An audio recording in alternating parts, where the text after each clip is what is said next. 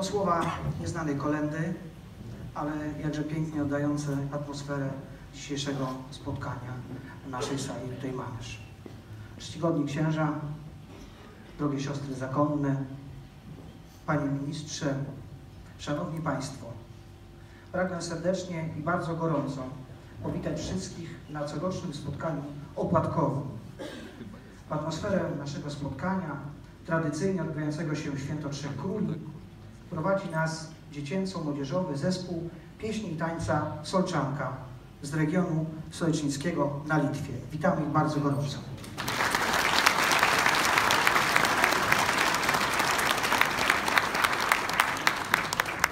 Zespół to szczególny, bo obchodzi 30-lecie swojego istnienia w tym roku.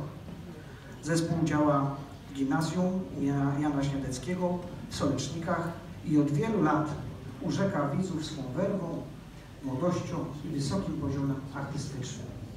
Kierownikiem zespołu jest pani Elwira Uczkurowic, a za choreografię odpowiada pani Bożena Daniel. Jest też zespołem pani Regina Obietkowa, opiekun zespołu. Prosimy zespół o odśpiewanie y, kolęd.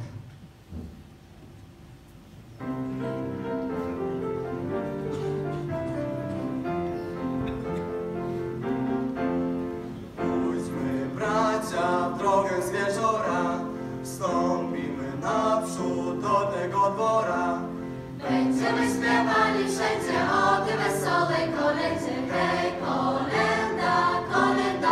Będziemy śpiewali